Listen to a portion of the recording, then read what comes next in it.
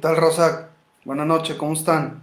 Bien, eh, no les voy a quitar tanto tiempo. Este, eh, eh, posiblemente de ello también el live de mañana o ya nos pondremos de acuerdo junto con mi compañero Imir o yo a ver quién es quién, puede dar el live. Ahí tenemos ya unos temas para cerrar con, con estos tres semanas de, de lives para poderles compartir un poquito de, hacking y lo que prácticamente hacemos, cómo jugamos y cómo es que los ciberdelincuentes trabajan.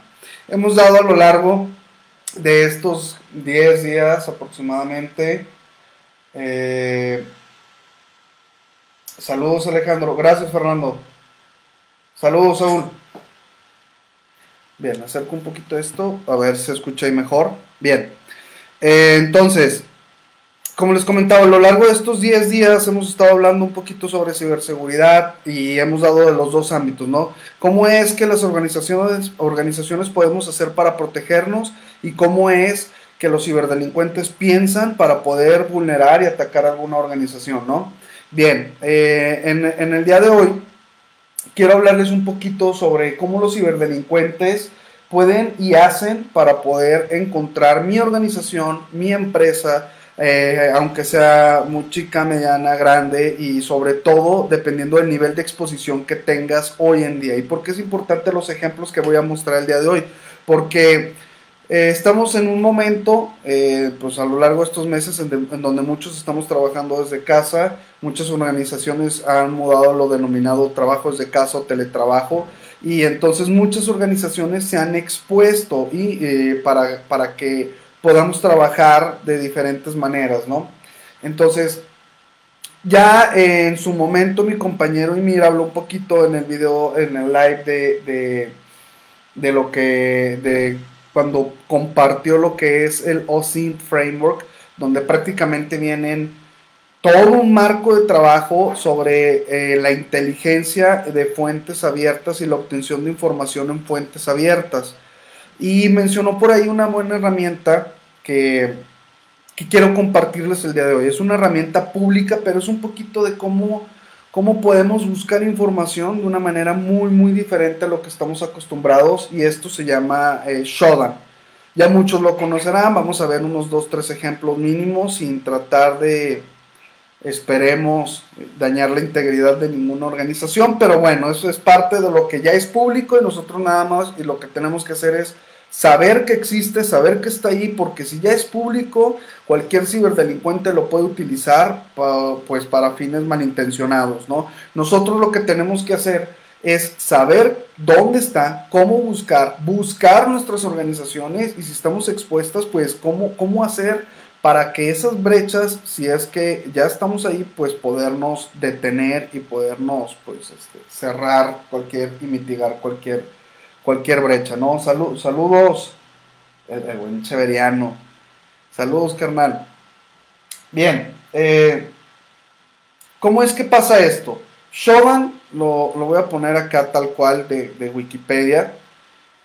Shodan es un motor de búsqueda. Nosotros ya hemos trabajado y estamos muy familiarizados con buscadores tipo Bing, Google, DuckDuckGo, no sé cuál sea el que ustedes utilicen pero ese tipo de buscadores prácticamente lo que hacen, pues, por su nombre, es nosotros poner ciertas palabras clave y en base a esas palabras clave poder tener un resultado, los resultados más eh, sobresalientes, los resultados más este, buscados, más cliqueados, dependiendo de, las palabras que estemos poniendo en, en, esos buscadores, ¿no? Pero prácticamente lo que hacen es podernos llevar hacia sitios web, sitios de información eh, y servicios pues un poquito públicos. Ya sabemos y es sabido que, en el mundo existen eh, pues digamos eh, sobre todo en, Google pues lo que vienen siendo los docs donde podemos hacer filtros o el Google hacking por así decirlo podemos hacer filtros en específico para encontrar cierta información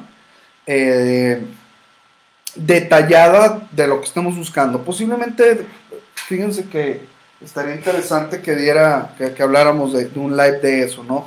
De la búsqueda de fuentes abiertas como en Google Hacking y cómo es que pueden encontrar o los ciberdelincuentes antes de poder tratar de vulnerar nuestra organización, por lo que tratan de hacer es buscar en, estos sitios, unos libres, otros no tanto, unos abiertos, otros no, y buscan credenciales y saber si nuestras contraseñas son expuestas o no.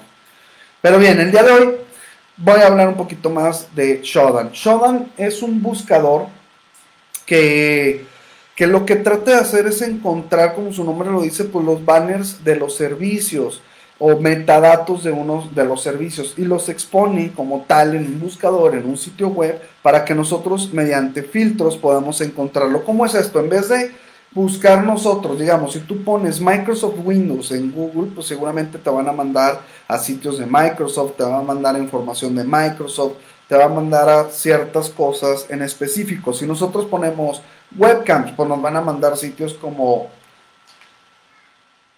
Perdón, aquí me salió que estuvo un poco, poco lento. Nos va a mandar a sitios, pues, como qué cámara quieres comprar en Amazon, eBay, ve este tipo de cámaras, existe esto. Y, pues es información que puede ser válida si tú estás buscando específicamente algún tipo de cámara en sí, ¿no? Bien. Eh, Ahora, lo que, quiero, lo que quiero mostrarles y lo que quiero decirles es que Shodan es un buscador diferente. Shodan lo que hace es que si tú pones Microsoft Windows, te va a buscar sistemas operativos Microsoft Windows que existen y que están expuestos en Internet. ¿Va? Si nosotros ponemos cámaras, si ponemos, por ejemplo, eh, algún tipo de fabricante de una cámara en específico, eh, entonces lo que va a hacer precisamente es mostrarnos las cámaras con IPs públicas que ya están expuestas. Eso es lo que hace Shodan. Como dice aquí, Shodan recoge datos de todos los servicios incluyendo HTTP, puertos 80, 8080, HTTPS, FTP, Secure Shell, Ethernet, eh, SNMP, en fin, como lo podemos traducir entonces a protocolos, servicios. Si nosotros utilizamos Nmap para mapear alguna IP, alguna dirección IP, algún host, alguna IP pública, algún dominio, pues Shodan hace exactamente lo mismo, pero vamos a pensar que Shodan utiliza, está, está desarrollado en Python, si mal no recuerdo, y utiliza creo que como motor ZMap, ustedes lo pueden buscar ahí en, en Google, si mal no recuerdo. Entonces ZMap lo que puede hacer es escanear todo Internet en minutos, toda la segmentación de IPs públicas que tenemos y que conocemos como tal como Internet, entonces Shodan lo que hace es mapearlo y darle la vuelta a todo Internet y recolectar los servicios, recolectar los sistemas operativos, qué IPs tienen, perdón, qué IP pública tienen, qué servicios habilitados, qué versión de los servicios y después los aloja y los guarda en una base de datos. Una vez guardados y alojados ya en una base de datos, te los muestra en, una, en un servicio de internet, ¿no? Vamos a ver el sitio. Este es el sitio de Shodan tal cual.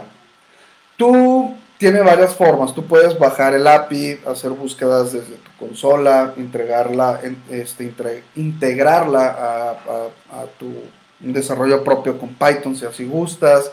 Puedes meterte al sitio, es libre, te deja hacer un escaneo. Eh, eh, por ejemplo, tú pones Microsoft Windows y te va a mostrar nada más la primera hoja de búsqueda. Si tú pones cierto tipo de cámaras o SSH, pues una, nada más la primera hoja. Tú debes de crear una cuenta libre para tener acceso a filtros de búsquedas. Aquí poner expresiones un poquito más concisas como buscar, por ejemplo, en países o cierto servicio en, un país, en un estado, hasta en una ciudad. Y pues hacer búsquedas de las primeras tres páginas, por así decirlo. Eh, bien, vamos a ver, por ejemplo, aquí tenemos la pestaña de explorar. Esto es lo que más se busca. Esto es lo que más se busca en Shodan. Es el top de lo más buscado. Vean, webcams, cámaras, netcams, default passwords, Ufanet, webcam, Rusia, Venezuela, TH Elasticsearch. ¿Por qué hacen esto? ¿Por qué son los más buscados? Bueno, Vamos a poner aquí. Esto es lo más buscado, ¿no? Default Password, Dreambox, bueno, LiveSex Cams, Webcams, Webcam Not Pass, en fin. Porque esto es lo más buscado, esto es lo que alguien puede encontrar en internet y poder hacer mal uso de ello. Por ejemplo, alguien puede buscar aquí, así tal cual, webcams, lo voy a poner acá, vean, SQ server 2 puntos, SQ webcam, y esto es lo que nos va a mostrar en, estas, en, la búsqueda. Nos va a poner la IP pública, dónde está y cierta información. Y aquí podemos hacer nosotros filtros.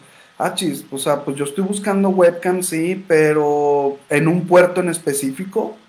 Puedes buscar por organizaciones, ojo, organizaciones, ¿va? Top de productos eh, y algún país, ¿no? Puedes ponerle aquí pues Estados Unidos, ven, server SQ webcam country US y nos va a mostrar únicamente IPs públicas de Estados Unidos. Tú puedes aquí buscar y decirle, bueno, pues US, le pongo MX, pues una búsqueda, no encontró nada, vamos a buscar webcams, así cams tal cual, Linux UPnP Avantage, Aptech. Hay bastantes, inclusive en México, Aquí ya le podemos poner country, perdón. Acá está MX.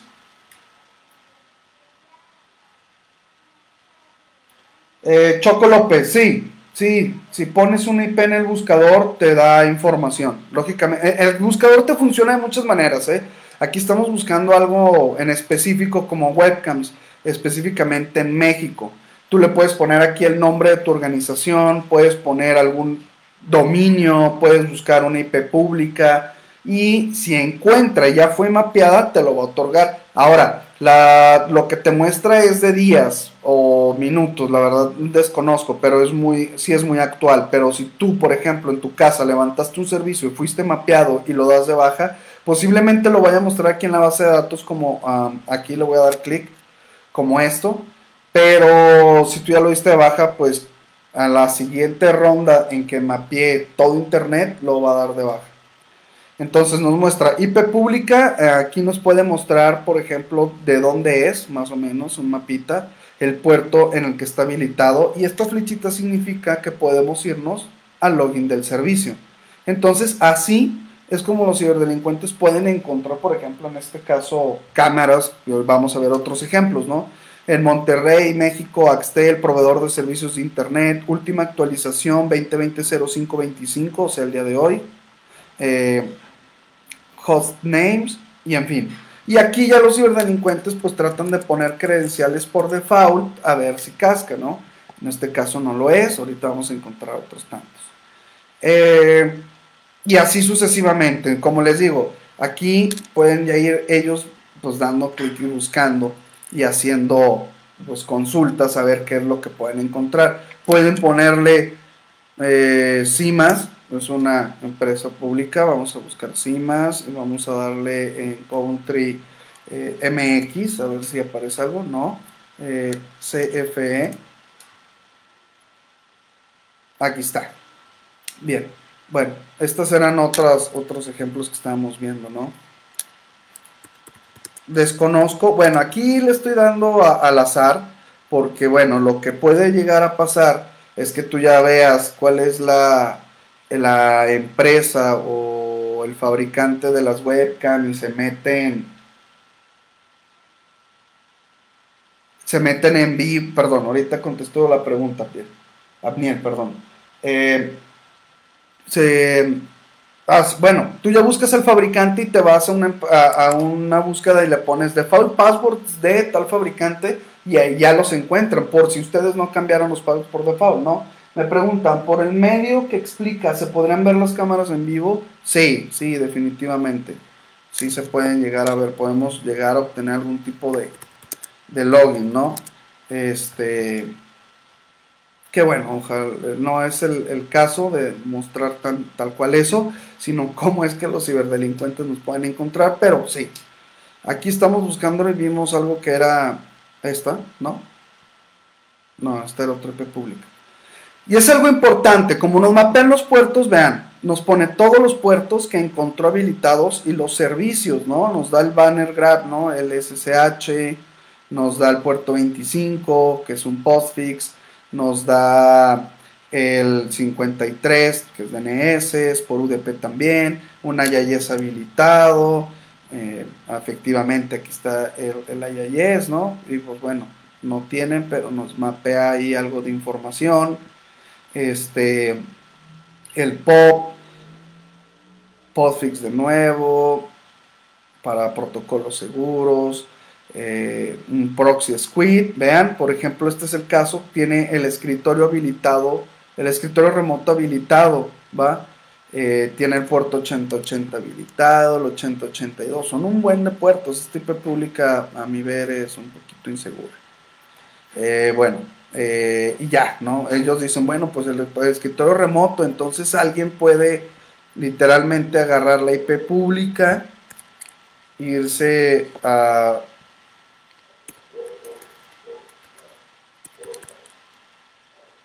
conexiones de escritorio remoto. No se puede ejecutar conexión. Ah, lo había eliminado, ok. Bueno, ese es el, caso, ¿no? Se puede ir a escritorio remoto y hacer autenticaciones. Lo importante y algo de lo interesante que tiene Shodan habilitado ahora es que ya también te puede mostrar, y esto es como facilitarle el arma a los ciberdelincuentes, ¿no? El top de vulnerabilidades o vulnerabilidades que posiblemente puede tener el host, ¿no? Aquí estamos viendo el CVE, el año de la vulnerabilidad, y ya alguien podría buscarlo específicamente para explotar vulnerabilidades y pues dañar el host tal cual. Eso es algo de lo que regularmente este, podría podría hacer un, ciberatacante, ¿no?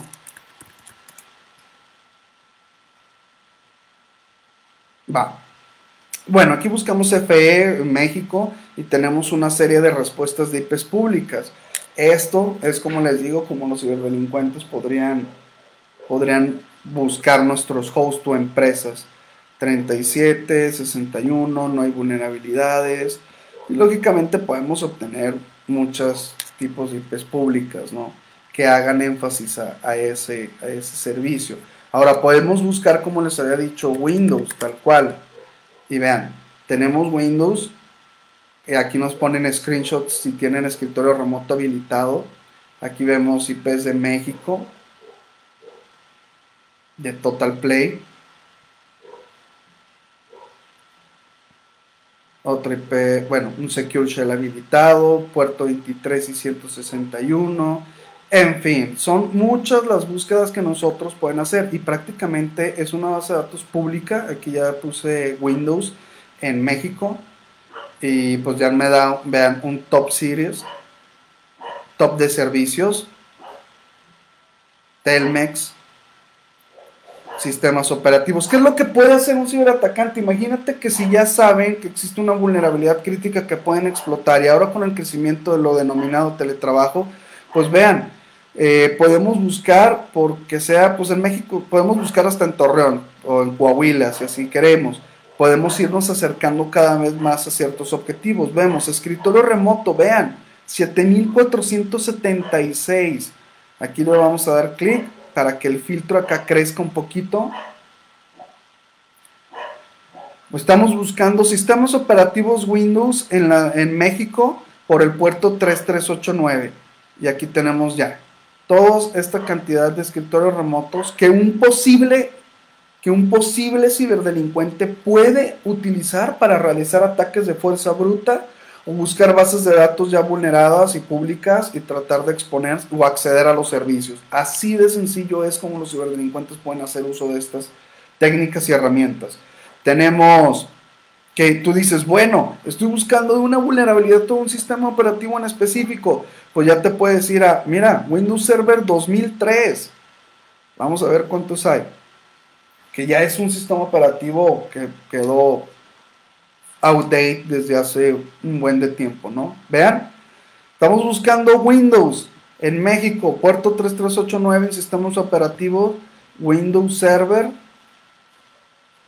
2003. Y aquí están, screenshots, screenshots, screenshots. Lo que les digo, ya alguien, bueno, déjenme, lo hago aquí a ver si no se tarda mucho en, arrancar, ¿va?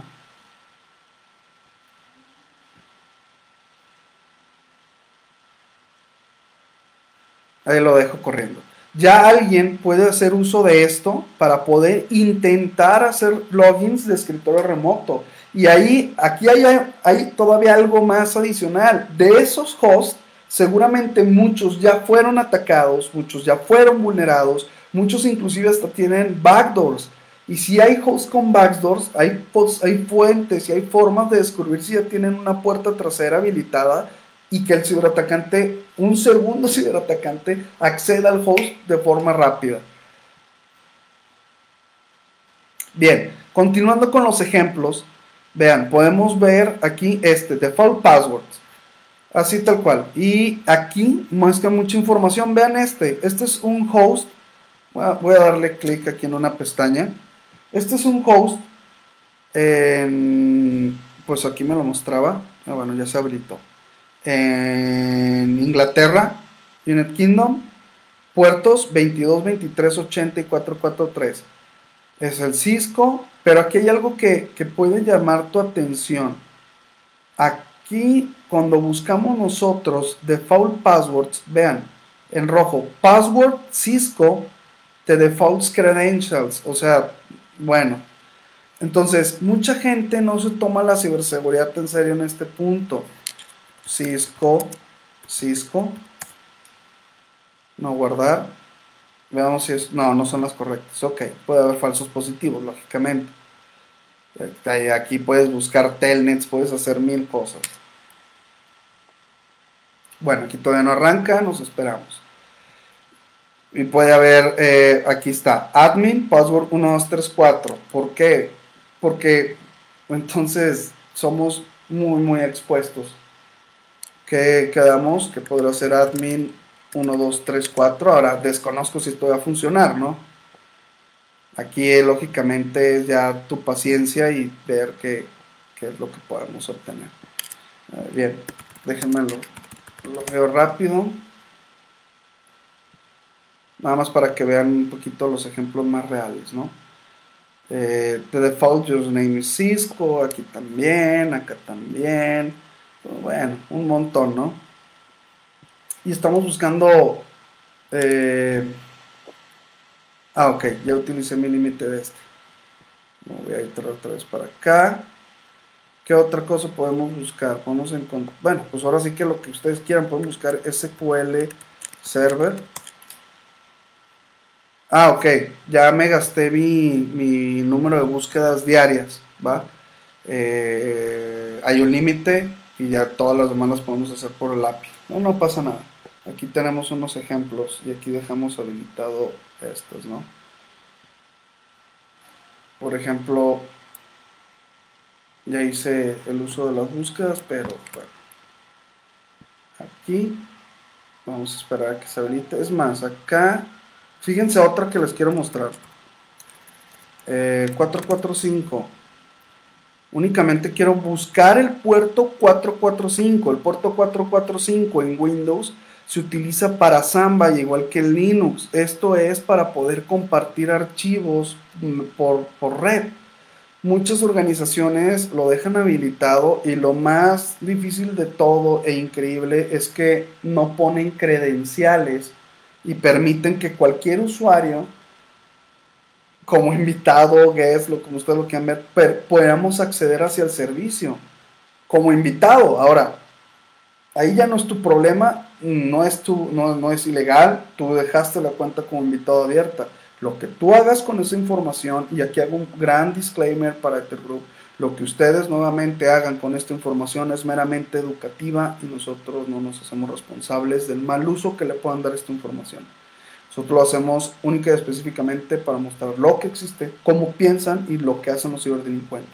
Nosotros como ethical hackers lo que hacemos es saber dónde está para poder proteger las organizaciones. Va, bueno, ya diciendo todo ese show, aquí, vaya, no, sé por qué se está tardando demasiado en prender el equipo. Eh, bueno, buscando acá, les decía 443 perdón, 445 y pues, todos los, los hosts, perdón. Y no es el puerto 445, es el puerto 443. Eh, estos son HTTPs por default. Ah, ok. Servers are overload, please train in a few minutes. Ok, vean, ya se está actualizando ahorita. Los servers están actualizando y pues que intentemos un poquito después, ¿no? Eh, esto es un Raspbian. Va. Ah, sí, sí, sí, sí. Sí, podemos instalar un complemento de VPN para que nos permita más búsquedas y sin bronca, ¿eh?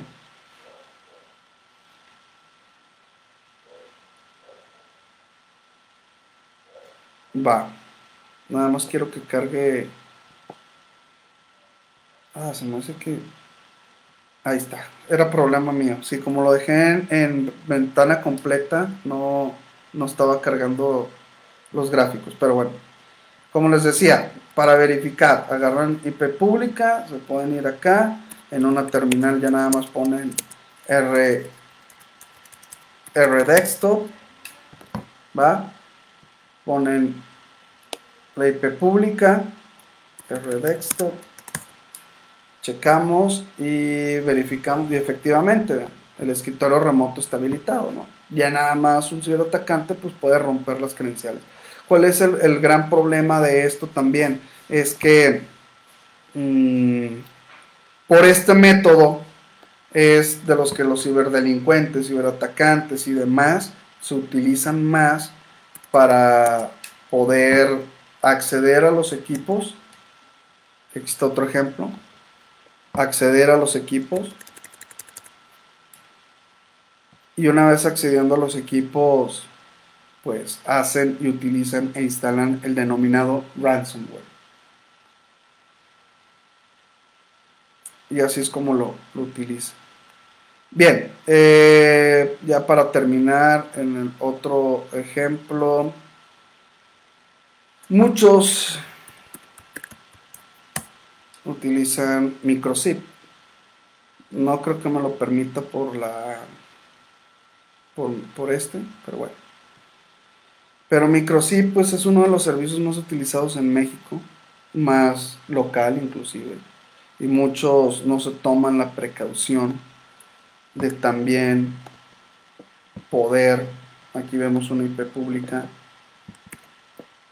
proteger esto. Entonces, a lo que voy, ah, perdón, ah, yes, ¿sí era? Sí, ahí está. A lo que voy es que muchos pues no, no se toman la precaución de proteger estos servicios son expuestos de esta manera, así como los vimos acá. Eh, pueden acceder de una forma rápida y sencilla y podemos buscar software local, software eh, nacional, software restaurant, no sé, ahorita estoy hablando de más, ¿no? Vean este también, es otro, y aquí está compartiendo datos por red. Desconozco si se puede acceder a, a ellos, tal, este,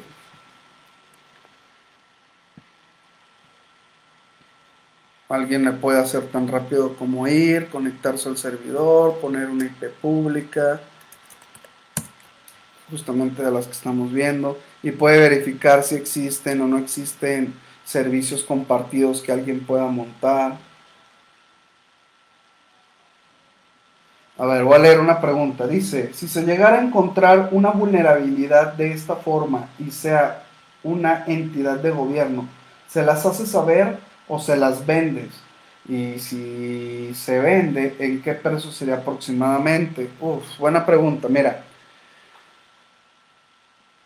por ética, lo que tú deberías de hacer es ponerte en contacto con, con los posibles usuarios de ese servicio. Este, y una vez que te pongas en contacto con ellos, pues hacerles ver que tienen un hueco de seguridad, ¿no? Eh, por, miren, aquí hay una conexión.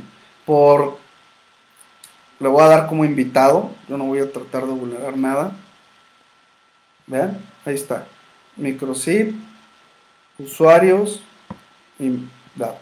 Y así, sencillamente.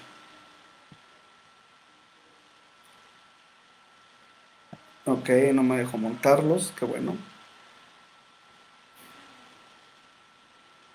Y listo, así es como un ciberatacante rápido y sencillamente le da para acceder a los datos. Bien, eh,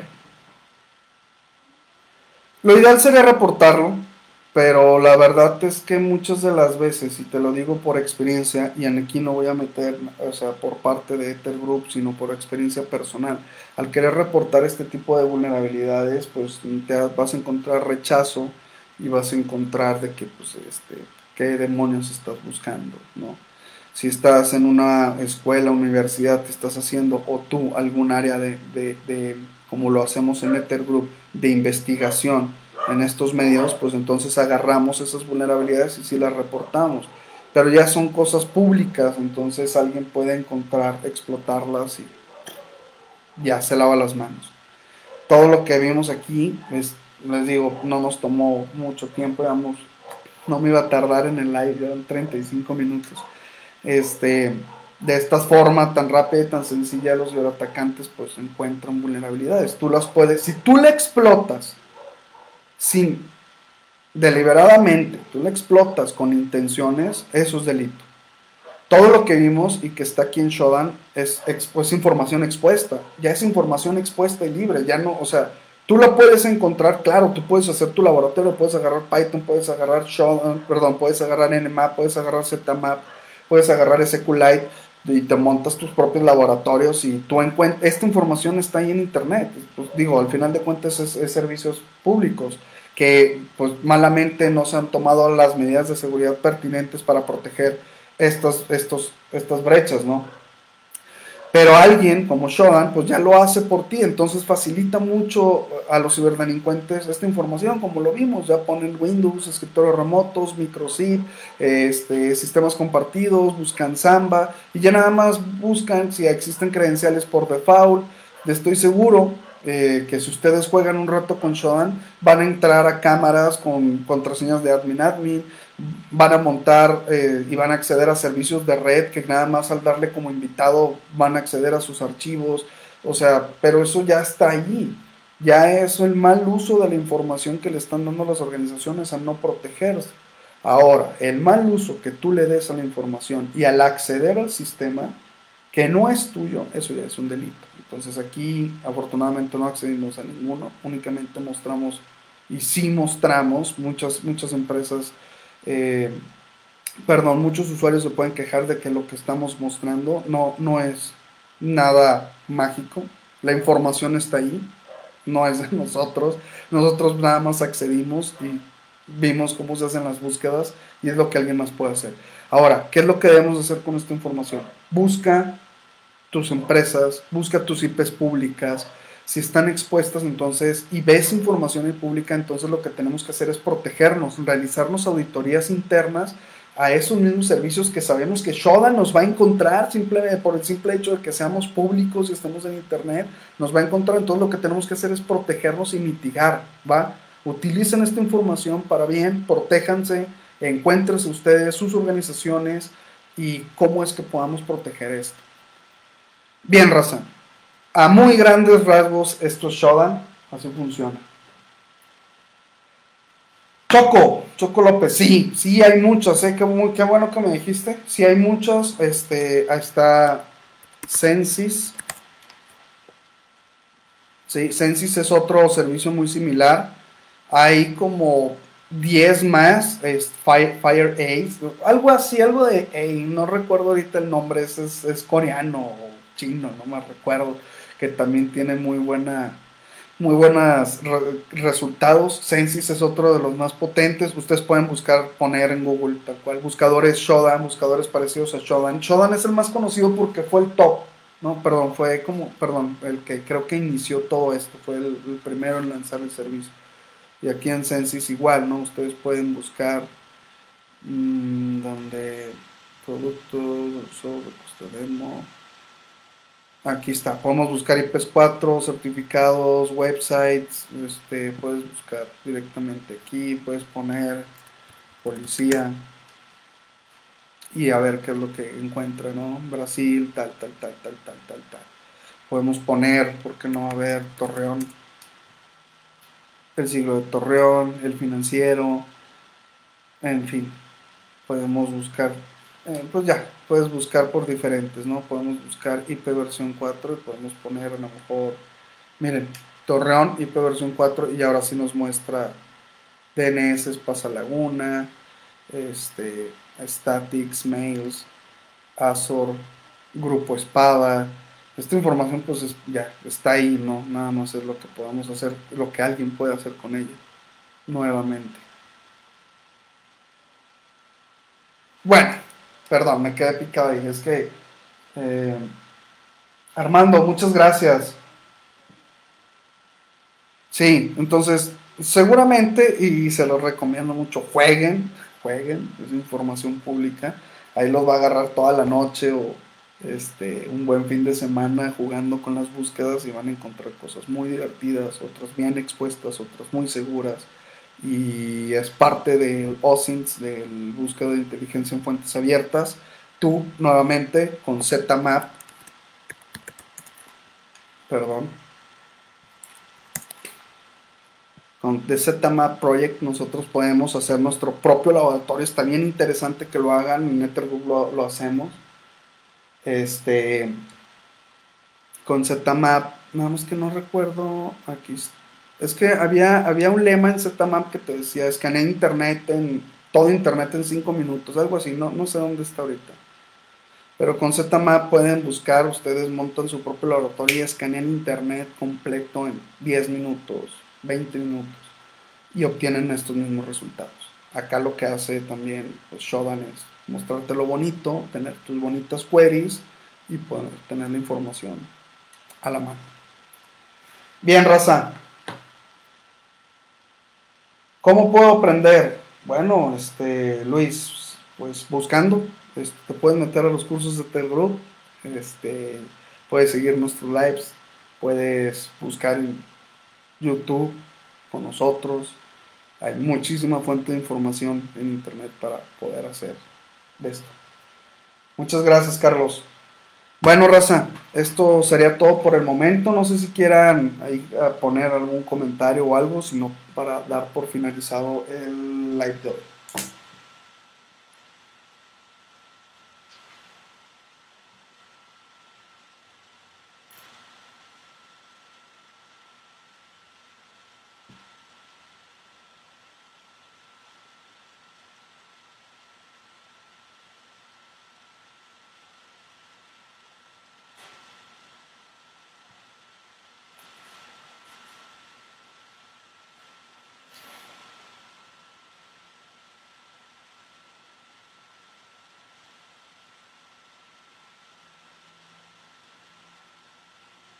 Agniel, eh, sí, sí, este, ahorita no tengo toda la información a la mano que te podía dar porque tenemos bastante, o sea, dos, dos categorías, tanto eh, como cursos en línea, cursos presenciales, este, hay veces que tenemos subsidios, hay veces que universidades apoyan a la raza para que se metan a esto, entonces deberías darte una, échate un clavado a, al face de, de Ethergroup como tal, busca y ven en los temarios y toda la información al respecto, y si no, déjanos un, inbox y alguien se pondrá en contacto contigo para poderte dar toda la información necesaria.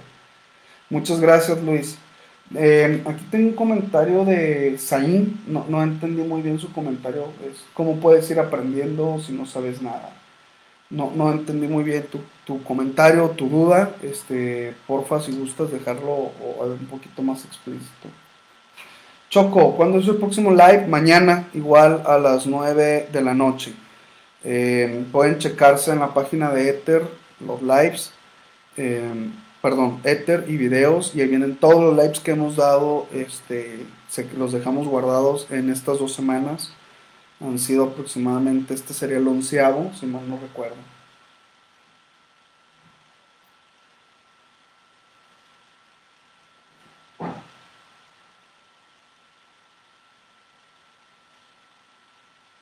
Ahorita con la información que dimos, este, se me ocurrieron ahí dos, tres likes más los comentarios. De hecho, hay un comentario también de, algo de forense. Lamentablemente, forense, pues sí, necesitamos dejar hacer un laboratorio un poquito más elaborado. Eh, y todo depende de la carga de trabajo del día, ¿no?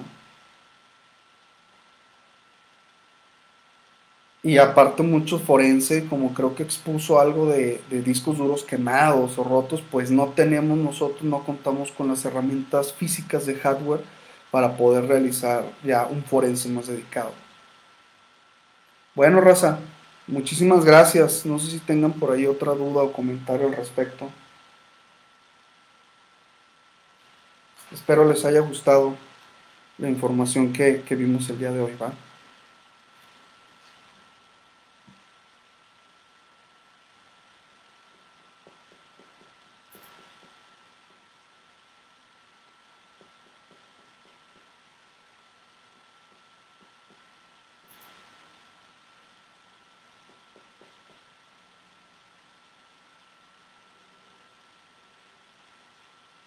Muchas gracias, Saúl. Oscar, para estos servicios, ¿hay forma de bloquear las IPs desde donde realizan ese análisis como Tor? A ver, déjame entender un poquito. Déjame entender un poquito tu comentario. Para estos servicios, o sea, supongo, para estos servicios como Shodan, ¿hay formas de bloquear las IPs desde las IPs desde donde realizan ese análisis como Tor. Como, no me queda muy claro tu, pregunta, pero a ver, o sea, tú puedes acceder, tú puedes abrir tu, tu, navegador Tor, tu navegador Dark Web, tu I2P, cualquier tipo de Darknet, FreeNet, este, tantas que existen, eh, a utilizar el servicio sin ningún problema. O sea, tú puedes utilizar ese servicio desde Tor pero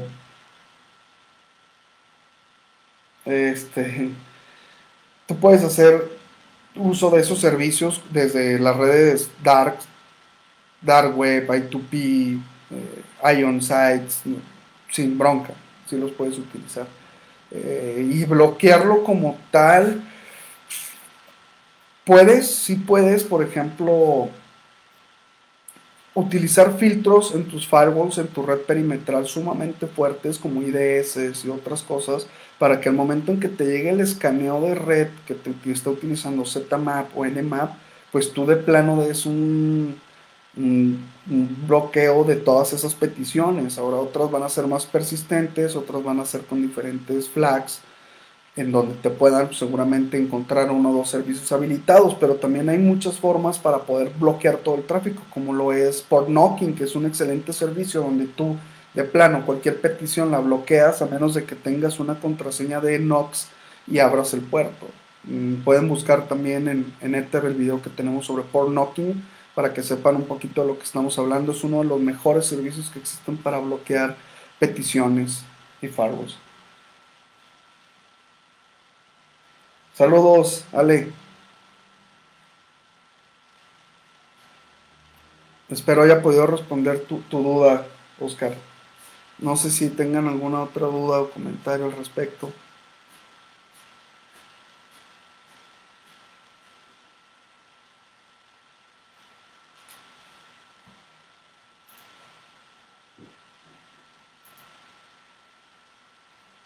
Adniel, claro, claro. Una última consulta.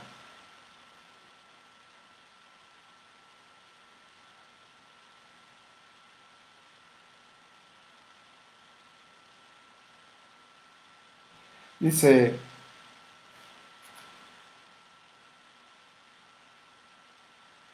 a ver, es que quiero ver por qué tagueaste aquí, pero dice ella, ¿cuál sería el, el salario de un white hacking?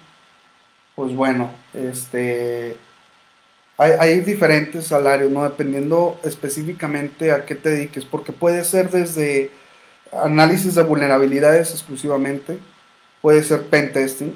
Vean los videos pasados, pueden ser Red Team, Purple Team, eh, Blue Team, White Team únicamente. Entonces depende también de qué tipo de organización estés. pero puede variar desde los 20, 30, 40, 50, 60, 70, 80, dependiendo del cargo y de las tareas específicamente que hagas. Porque, por ejemplo, hay muy buen, y también la ciudad en la que estés, porque hay muy buenos salarios en Querétaro, México, en Monterrey, por ejemplo, y hay otros que son muy buenos hackers que conozco y se dedican a las ventas. Ellos van, tocan las puertas a las organizaciones, dan pláticas como estas y te explican de una forma increíble todo lo que un ciberdelincuente puede hacer y cómo los productos en los que empresas que ellos están trabajando funcionarían para protegerte. Y son técnicos también, pero se dedican más a la venta del producto. Entonces, depende mucho de dónde vayan. Hay otros que son programadores de ethical hacking, donde también les pagan muchísimo más y te dedicas Ah, y eso es otro video que me gustaría dar, que es el Book Bounty. O sea, a lo mejor tú no quieres trabajar en ninguna organización, pero quieres... ¿Y cómo ganas dinero? O sea, tú dices, oye, yo quiero ser hacker, quiero dedicarme al hacking, quiero encontrar y explotar vulnerabilidades. ¿Dónde me monetizo? ¿Cómo le hago para ganar lana de ahí? Y puedes ganar muchísima lana de ahí, muchísima. También es otro muy buen dato que, que yo creo que también estaríamos tocando. Eh, todo depende nuevamente de, los temas, flujo y si lo va a dar mañana mi compañero o su servidor. Igual y hablo un poquito de, ese tema del book bounty, cómo ganar lana desde internet.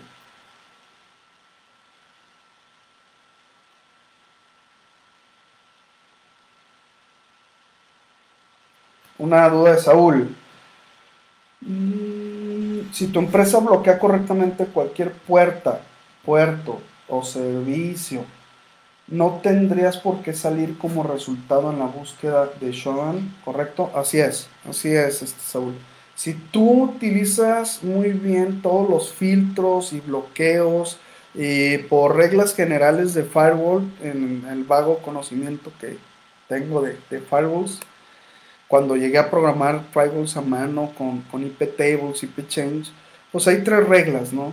Una es el drop, otra es el accept y el otro es el reject. Entonces es, aceptas la petición o la dropeas, quiere decir la rechazas. Haz de cuenta, llega tu petición y la rechazas y el firewall no obtiene, o, o dependiendo del escaneo, no obtiene una respuesta porque no, no vas a responder a esa petición, simplemente la rechazas o la, perdón, la dropeas, la descartas, llega la petición, la agarras y la tiras o la rechazas completamente y cuando hay un rechazo hay una respuesta de parte del firewall hacia quien está haciendo la petición. Entonces todo eso funciona porque el Shodan como tal puede decir, mira, tienes tus puertos que él está rechazando. Entonces te van a aparecer como filtrados. Si están dropeados, ni siquiera van a aparecer.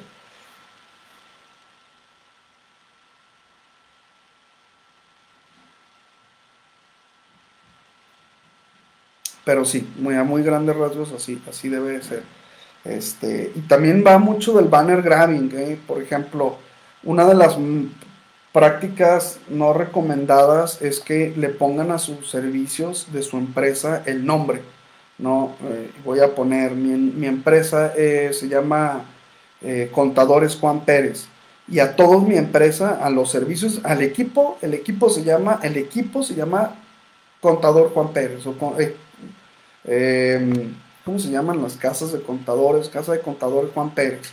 Y luego le ponen a compartir archivos y en Samba, SMB, con Juan Pérez. Y todos esos scans y banners, al momento en que Shodan tú pongas Juan Pérez, pues Shodan lo va a leer en la query y va a decir, ah, mira, pues está esto. ¿Sí? Igual ahorita vimos que CIMAS no salió algo, nada, pero a lo mejor en CIMAS, este, si lo buscamos con, con el significado de las siglas tal cual, vamos a encontrar un poquito más de información. Si buscas igual eh, CFE como Comisión Federal de Electricidad como tal, vas a encontrar más información. Todo depende. De hecho, muchos también cometemos, eh, me llegó a pasar errores en que a los servidores le ponemos nombres como Zeus. De hecho, si tú, ahorita te vas a Shodan y creas tu cuenta y pones con Z, Zeus, vas a encontrar una cantidad impresionante y de servicios y de nombres, porque así le ponen a sus servidores. Va. Entonces, si tú dices, ah, quiero buscar una universidad como la UNAM, y esa es otra buena plática, ¿eh? el análisis de metadatos. Pero si tú pones la UNAM y te pones a investigar el nombre de los servidores de la UNAM, vas a encontrar que son Afrodita, Pisces, Zeus, Géminis, Aries, y todos, seguramente cada uno de ellos este, eh, eh, tienen alguna relación con su servicio o con lo que hacen, pero así es. Entonces, a lo mejor tú buscas de alguna forma la UNAM y no vas a encontrar, pero si ya dice Pisces.unam, pues ya está relacionado, ¿no?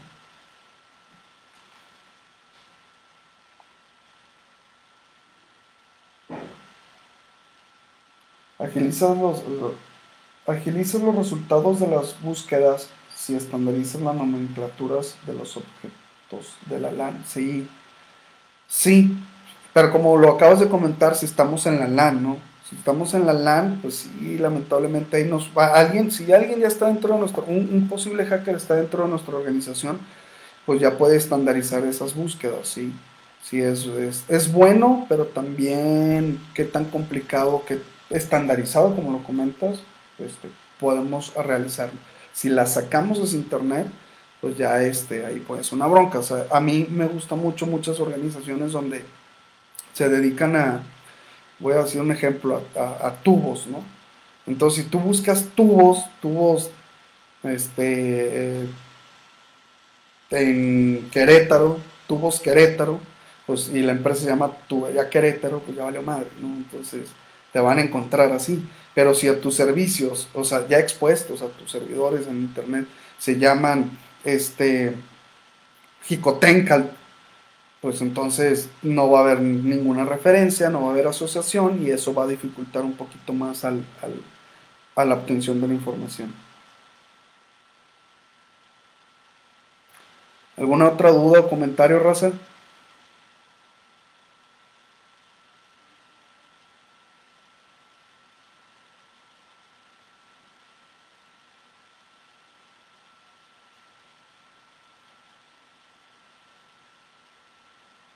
Gracias, Saúl.